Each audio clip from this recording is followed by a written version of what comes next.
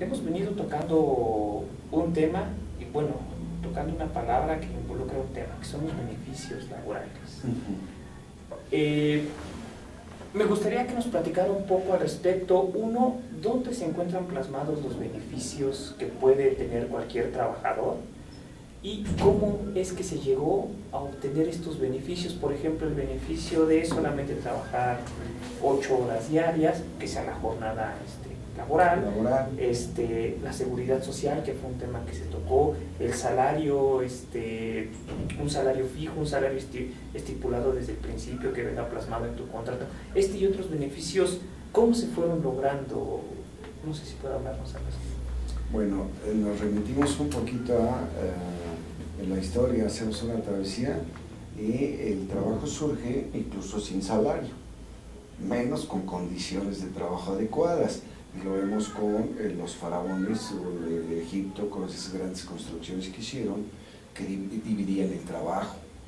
O sea, había quienes picaban piedra, había quienes ponían piedra, había quienes sacaban piedra, había cuestión administrativa para poder alimentarlos, etc.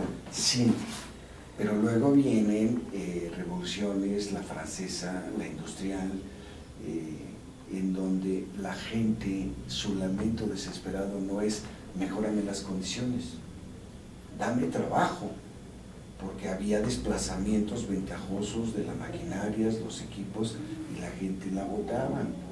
La revolución industrial fue eso, este, francesa pues, también fue eh, eh, ese lamento desesperado por el derecho a trabajar. Surge básicamente con Bismarck en Alemania, el canciller de hierro, cuando se inicia la legislación en materia de trabajo y eso cunde por toda Europa. Es en donde nacen precisamente las normas, los principios, los lineamientos o leyes para el trabajo. Si nos eh, remontamos a México, pues tenemos una constitución política que establece las normas, los cimientos para el bien vivir en sociedad y tiene un artículo de los eh, eh, ciento y tantos que tiene, el 123, que es del trabajo y la previsión social para sector privado y para eh, sector público. Ahí ya encontramos en el apartado A y en el apartado B, en la Constitución de 1917 parece ser que es, cuando los legisladores ya establecen jornadas reducidas, eh, determinan condiciones insalubres, eh, vamos, se voltea a otorgarle al hombre que trabaja condiciones adecuadas. No son totalmente satisfactorias, pero sí ya regulan el trabajo. Viene la Ley Federal del Trabajo, y la Ley Federal de los Trabajadores al Servicio del Estado, que son auxiliares de ese artículo para reglamentarlo de manera bonita, orquestada, los riesgos de trabajo, cuándo son accidentes, cuándo enfermedades, se tipifican pérdidas de miembros, eh, órganos, eh, las primas dominical, de actividad, vacacionales, es decir, todo lo inherente al trabajo ya está perfectamente regulado. Hay un tope, existe una norma, y luego ya aparecen los sindicatos un poco antes de la aparición de la, ley federal y la ley de los trabajadores al servicio del Estado.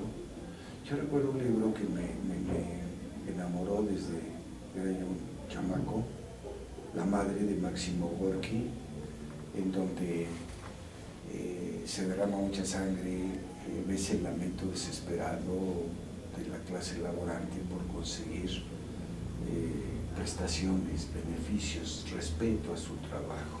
Con nosotros pues surge la cúpula principal obrera con los cinco lobitos famosos, Fidel Velázquez, Lombardo Torredano, entre otros, en donde conforman la primero Federación, luego Confederación, surge CTE, que es la que hasta la fecha, una de las centrales obreras más fuertes.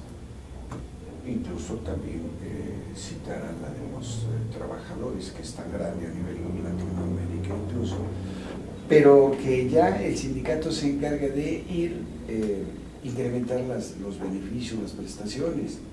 Y tenemos organizaciones que la ley establece prima vacacional de 25% y hay organizaciones que tienen 40, 80, 100, 150 llegó a tener General Motors de eh, prima vacacional. Vacaciones 6 la ley por el primer año, otras organizaciones tienen 8, 9, es decir, se ha ido mejorando el beneficio, la prestación de la clase laborante. Han exagerado los sindicatos, porque hay ocasiones en que se vuelven tan pesados, tan onerosos los contratos, pues que se pone en peligro la fuente laboral y luego vienen las reconversiones laborales. Volver a ley, le liquidamos las prestaciones, los beneficios a los trabajadores, pero regresemos a la ley y luego otra vez una carrera. Y es por ahí, o sea, no se acaba. Una pregunta, eh, maestro. De forma reciente, ¿ha habido modificación a la Ley Federal del Trabajo en la cual ya se eh, regulan los outsourcing?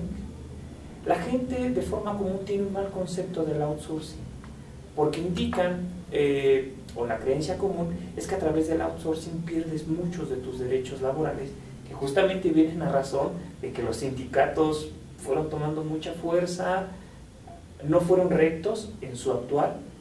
Entonces, mucha gente tiene un concepto, un concepto negativo de lo que son los outsourcing. Esta es una forma en la cual los trabajadores han perdido sus derechos, su, valoración por parte del patrón. ¿Cuál sería su opinión? No, yo creo que aquí, vamos, la nueva ley federal trabajo que acaba de salir, por así decirlo, está fresquecita de las cámaras, alta y baja, después de haber pernoctado, dormido ahí dos, tres años, eh, toca precisamente los outsourcing y los insourcing y, los trata de meter a cintura ¿Por qué nos trata de meter a cintura? Porque estoy de acuerdo con que eh, perdieron el rumbo, eh, se pervirtieron y le cobraban por un trabajador a un patrón 10 pesos diarios y al trabajador le daban 5 pesos diarios por las prestaciones. O sea, se las cobraban al patrón, pero no se las hacían llegar al trabajador de manera plena, les daban de alta el seguro social con un salario diario integral mucho menor, ponían en peligro sus eh, planes de beneficios, de liquidaciones, pensiones, etc. Y la verdad es una de las cosas increíbles eh, que yo veo con mucha satisfacción, el, al menos regular de manera adecuada, mejor, estos tipos de trabajo.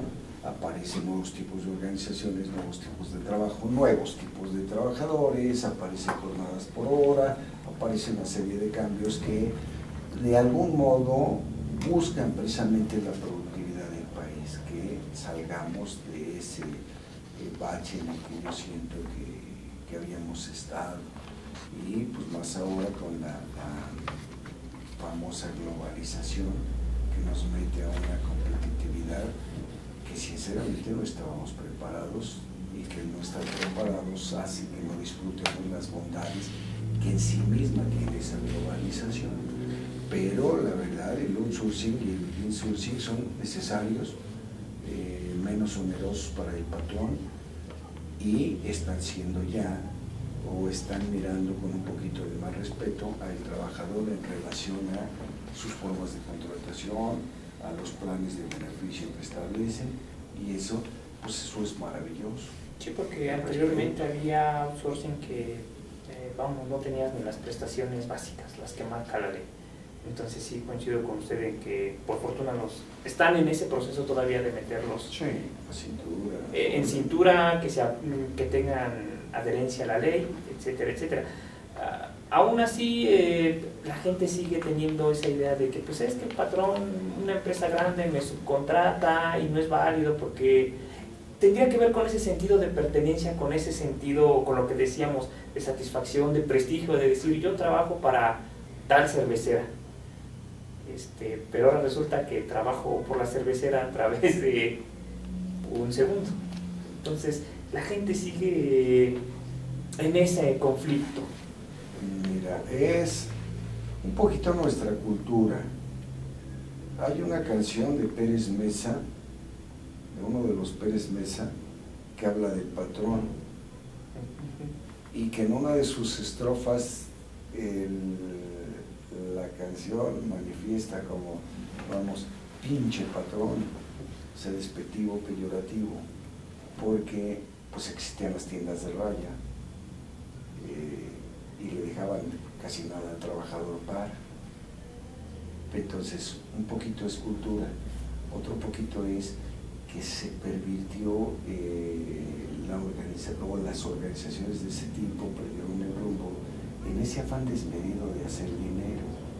Yo creo que fue por ahí, porque eh, yo veo normal, es más, yo les digo a mis chicos, a los alumnos, que esa es una oportunidad maravillosa para el psicólogo, porque tiene un nuevo tipo de trabajadores. Llegan eh, trabajadores con distintas culturas, distintos valores, entonces trabajar es un poquito más difícil, pero yo justifico al trabajador un poco, o le respeto.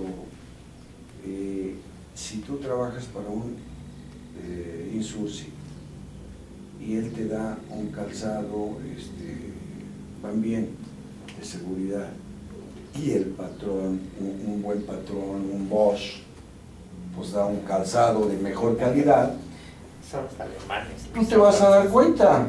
O sea, tú ves el calzado de aquel y el tuyo y haces comparación y te sientes mal. O sea, de por sí nuestra cultura ya está, viene por ahí. Y luego con esas situaciones en la ropa luego, que ya ahora han establecido que le den la misma ropa, pero hace poquito y todavía algunas no. Entonces las diferencias eran evidentes y obvio el malestar, el rechazo, pues, ¿qué trabajador iba a tener satisfacción en lo que hacía?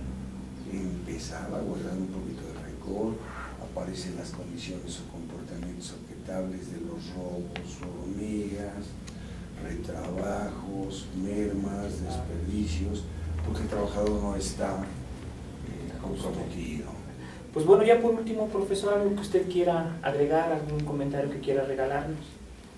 Pues realmente en aras de eh, mi facultad, eh, mi área de interés que ha sido toda la vida la cuestión, la psicología organizacional, pues que el chico se preocupe y ocupe en crecer, que eh, administre bien su tiempo, para que aproveche, pero hasta del profesor brillante y del profesor que no es muy brillante, pero que le aprenda y le, chupe, que sea esponja para que todo lo haga suyo, provoque su eh, conocimiento, su aprendizaje mismo.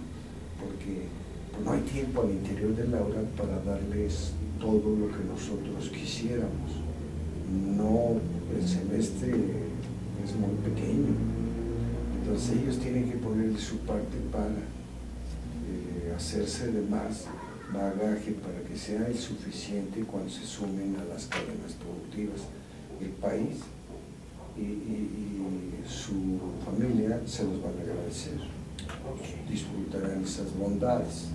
pues bueno, pues ahí lo tienen, este, los comentarios y las reflexiones en voz de quienes eh, han pasado eh, su vida en un primer momento en el área laboral, en la acción, como comúnmente se le dice, y que posteriormente ha venido a forjar generaciones. Y bueno, como a nosotros no nos gusta triangular la información, no sé si guste regalarle a nuestros seguidores alguna forma de contacto para aquellos que tengan la duda con respecto a algún tema o que quieran entrar en comunicación con usted. Pues yo podría ayudar solamente en temas de índole laboral. Eh, intervenciones que hasta la fecha, una hora, hago en algunas organizaciones, principalmente series grandes. Eh, esporádicamente tampoco me gusta estar, pero lo que sí podría decirles es que estoy a disposición de si algo puedo hacer, si algo puedo sugerir en área, eh, en temas de índole laboral, condiciones de trabajo, climas, eh, cultura laboral, calidad de vida, satisfacción en el trabajo, no satisfacción en el trabajo, ese tipo de cosas me encantan y, me fascina ayudar. Cualquier chico, cualquier persona pudiera, cualquier chica pudiera, eh, vía correo, mandar su inquietud a, donald99 hotmail.com, es el correo particular. Eh, bueno, pues estoy a, a las órdenes, me daría gusto poder ser útil a, pues a la gente. Ok, pues bueno, le agradecemos mucho el tiempo que nos acaban de regalar. Ok, pues bueno, eh, por el momento sería todo. El Cuerpo Académico de Cultura y Personalidad, como ustedes lo saben, al servicio de la comunidad universitaria y de la comunidad en general. Nos vemos en la próxima. Buena tarde.